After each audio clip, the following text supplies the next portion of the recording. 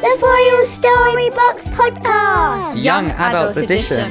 Hi, everybody, and welcome along to episode two of the Foyles Storybox Podcast 2017. This week is hosted by me, Ben. And me, Grace. We snuck up to the sixth floor of Foyles flagship store to get some peace and quiet away from all the shoppers, but you may occasionally hear some people floating around in the background. This is the place to catch up on all the fantastic events happening at the 2017 Foyles Storybox Festival.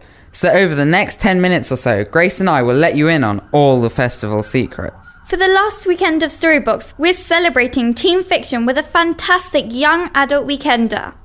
Coming up later in the show, we sit in on a fabulous panel with authors Alwyn Hamilton and Laure Eve, who discuss the role of feminism in young adult fiction. But first, let's go straight over to see what our reporters found out at the creative writing workshop led by young adult author Olivia Levez.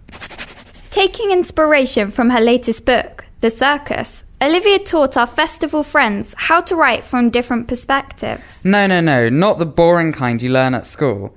The kind where you're teetering on the high wire, balancing on the unicycle, or even running around on stilts. Let's have a listen to see what we learnt. My killer line is I can't just give up now. Hi, my name is Melissa, and I'm at the Add Some Glitter to Your Creative Writing Workshop. And we have been just writing our own short stories um, inspired by Olivia Levez's story called The Circus. My name is Olivia Levy, and I'm the author of The Island and The Circus. My challenge was to teach people to add glitter to their writing. So it had to be all things glittery. So it involved constructing a hula hoop and uh, also playing lots of background noises like crowd noises to try and give writing prompts. She's the hero and I'm the villain, and surprisingly, both our stories are quite similar, so it's quite easy to join them together. And we're both in the trapezing act, and in the story, I'm her best mate. And I'm trying to come back and find her and bring her home because she's just stepped out of her old life that actually she could do so much more of it, but she just wanted a new beginning. I like method writing, which is a bit like method acting, where you literally get into the head of the character by trying to experience the same things. We've discussed things like uh, how to get over um, writer's block and um, how to generate ideas and things to keep the story interesting and tense to keep the reader wanting to read. You need a deck of cards and um, you write down so the numbers and you write down the spades, clubs, hearts, and diamonds. You write down different scenarios for each of them. For example, one of them is there's a storm outside, so you would add that into your writing. So it just, it really just gets you. Then we use cinematic techniques like cutaways and match cuts to try and uh, weave in the protagonist and the villain's point of view and end on a cliffhanger. Well, I would suggest reading a lot of books first so you can get inspired in like what kind of genre of books you like and go to workshops like this because they'll really help you with improving your writing skills and um, because it, it just like helps you like, like how she said um, how to get over a writer's block, so that could really help with um, when you're trying to write a story of your own, and because not many books really tell you how to do that.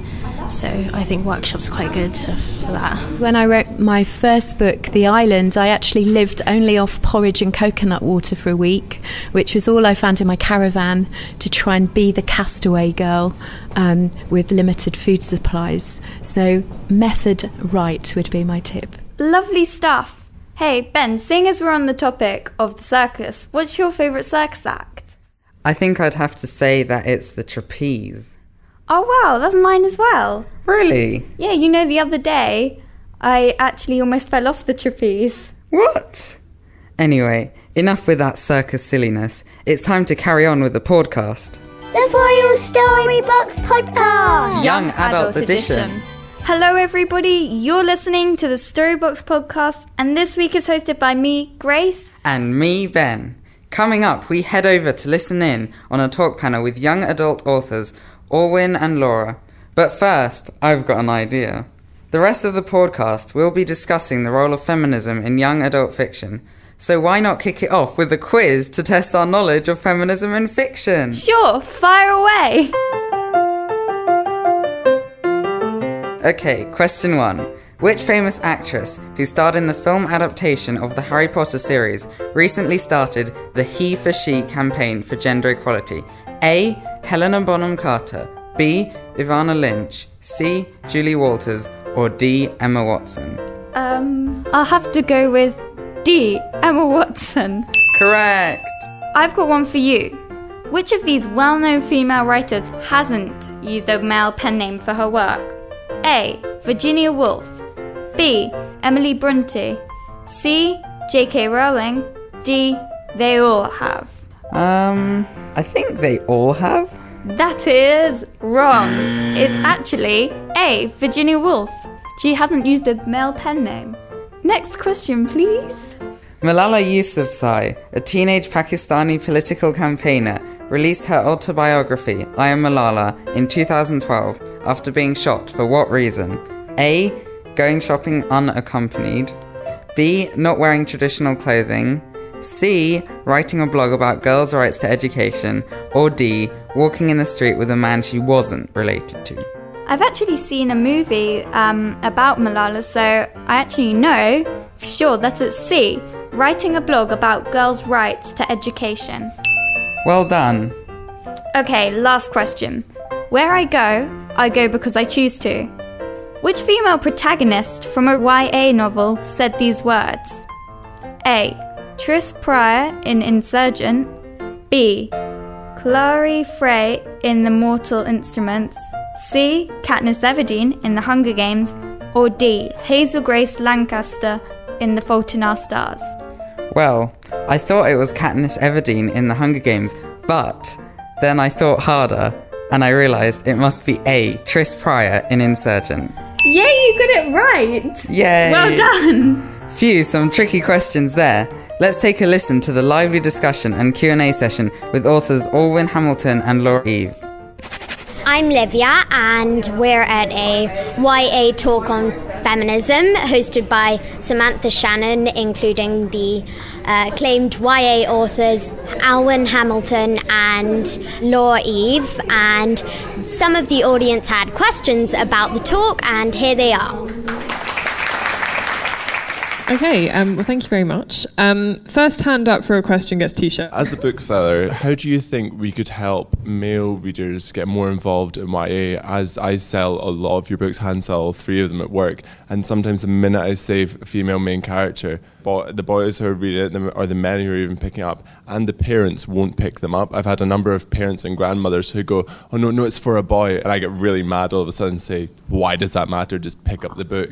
How do you think we could help change that and change opinions and get people reading? I have an answer to that that I don't necessarily like because I think it's kind of sad. But could you just tell them the story without telling them the character, and then once they start reading, maybe they'll be like, "Wow, it's a woman." I hate to say it because I, have I think if I tried to get my little brother to read something that had a girl main character, he'd be like, oh, "It's a girl," and I'd be like, "Yeah, I'm a girl, but you still hang out with me."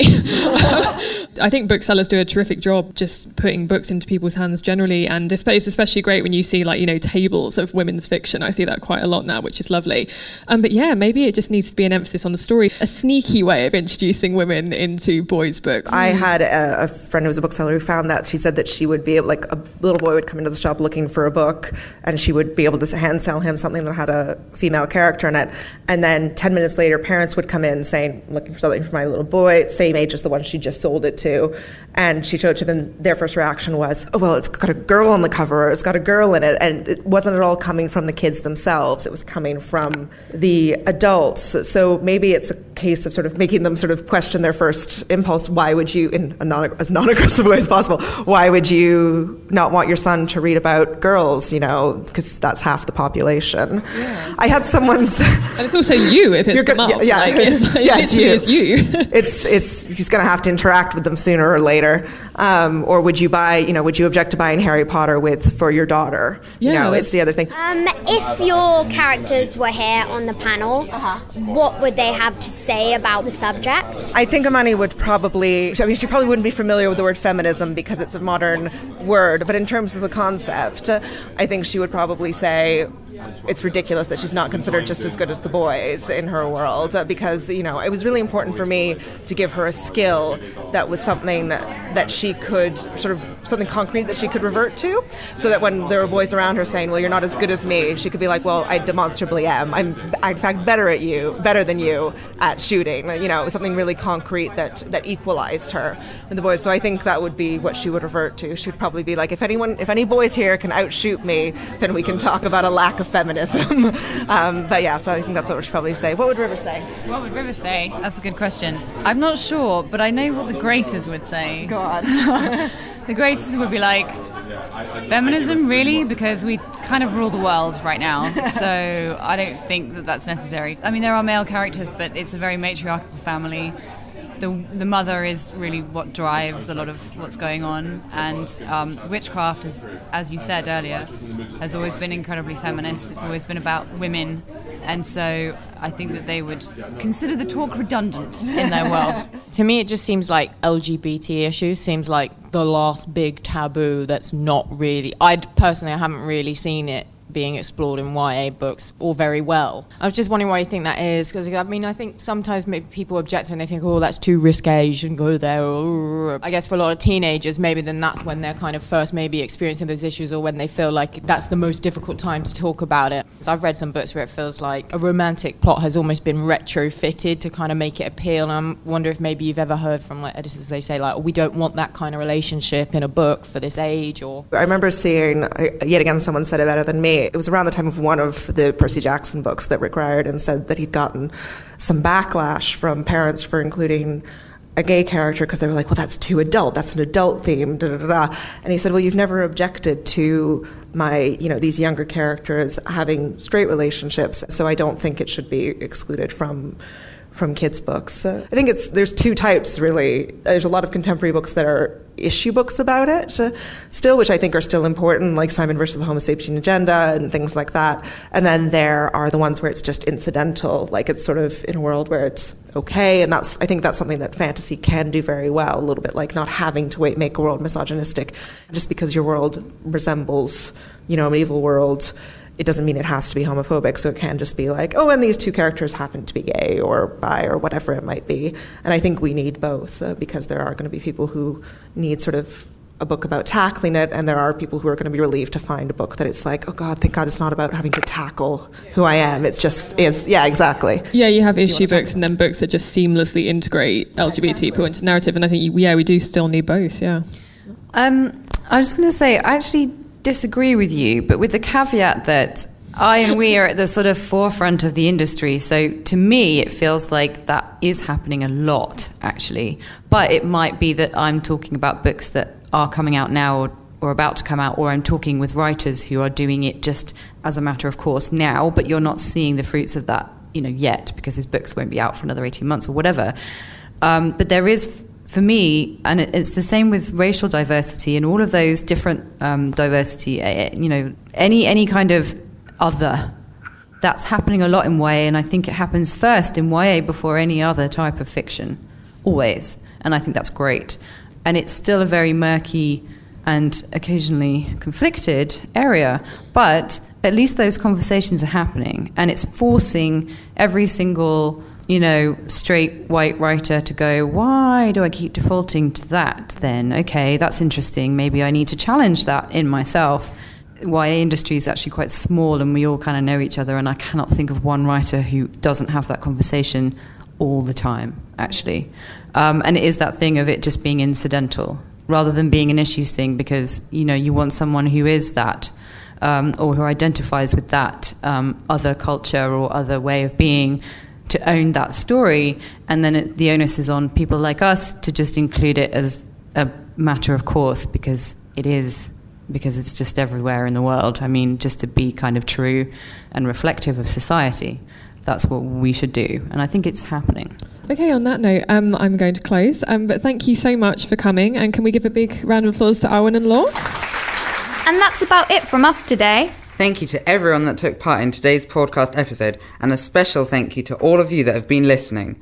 Be sure to keep an eye and ear out for Storybox Festival 2018. Head over to foyles.co.uk slash storybox for details on all events and workshops that have taken place all over the past few weeks across the stores in London, Birmingham, Bristol, and Chelmsford. You've been listening to the Storybox Podcast 2017, hosted by us, Grace and Ben. Don't forget to check out both podcast episodes over on SoundCloud and YouTube. Goodbye. Bye. Happy reading!